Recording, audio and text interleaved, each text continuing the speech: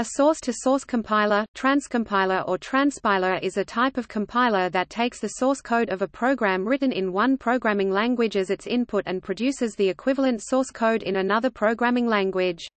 A source-to-source -source compiler may perform a translation of a program at roughly the same level like from Pascal to C, while a traditional compiler translates from a language like C to assembler or Java to bytecode. An automatic parallelizing compiler will frequently take in a high-level language program as an input and then transform the code and annotate it with parallel code annotations e.g., OpenMP or language constructs e.g. Fortran's FORALL statements. Another purpose of source-to-source -source compiling is translating legacy code to use the next version of the underlying programming language or an API that breaks backward compatibility.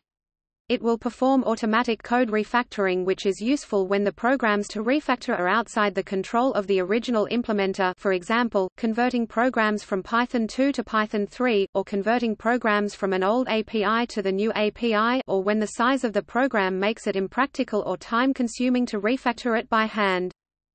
Transcompilers may either keep translated code structure as close to the source code as possible to ease development and debugging of the original source code, or may change the structure of the original code so much that the translated code does not look like the source code. There are also debugging utilities that map the transpiled source code back to the original code. For example, the JavaScript source map standard allows mapping of the JavaScript code executed by a web browser back to the original source in a transpiled to JavaScript language. Examples of transcompiled languages include Closure compiler, CoffeeScript, Dart, Haxe, TypeScript and Emscripten.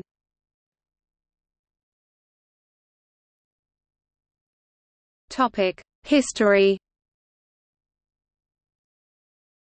One of the earliest programs of this kind was Digital Research's XLT86 in 1981, a program written by Gary Kildall, which translated, ASM source code for the Intel 8080 processor into, A86 source code for the Intel 8086.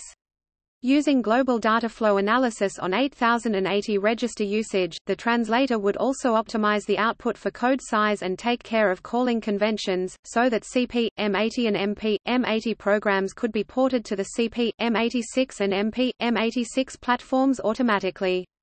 XLT86 itself was written in PL/I-80 and was available for CP M80 platforms as well as for DEC VMS for VAX 11750ths or 11780ths. A similar but much less sophisticated program was Trans.com, written by Tim Paterson in 1980 as part of 86DOS. It could translate some Z80 assembly source code into ASM source code for the 8086, but supported only a subset of opcodes, registers and modes, often still requiring significant manual correction and rework afterwards. Also it did not carry out any register and jump optimizations.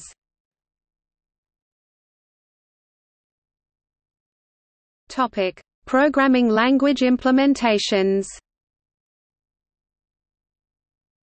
The first implementations of some programming languages started as transcompilers, and the default implementation for some of those languages are still transcompilers.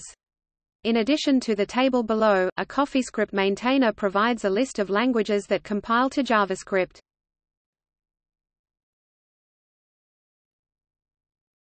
Topic: Porting a codebase. When developers want to switch to a different language while retaining most of an existing codebase, it might be better to use a transcompiler compared to rewriting the whole software by hand. Depending on the quality of the transcompiler, the code may or may not need manual intervention in order to work properly. This is different from transcompiled languages, where the specifications demand that the output source code always works without modification. All transpilers used to port a codebase will expect manual adjustment of the output source code if there is a need to achieve maximum code quality in terms of readability and platform convention.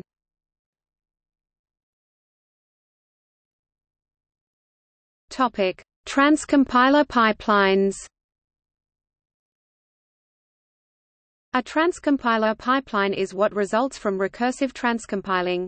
By stringing together multiple layers of tech, with a transcompile step between each layer, technology can be repeatedly transformed, effectively creating a distributed language independent specification. XSLT is a general-purpose transform tool which can be used between many different technologies, to create such a derivative code pipeline.